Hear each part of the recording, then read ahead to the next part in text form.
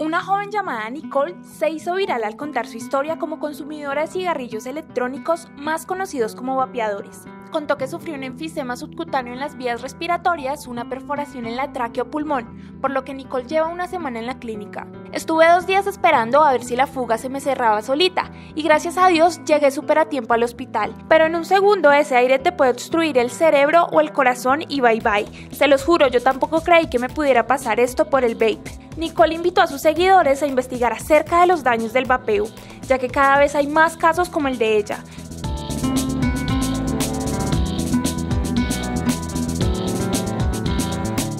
Los cardiólogos europeos han emitido una severa advertencia sobre los peligros de los cigarrillos electrónicos. Además, la Sociedad Americana contra el Cáncer indicó que el uso actual de cigarrillos electrónicos entre la juventud se ha incrementado en años recientes. ¿Qué opina del uso de vapeadores?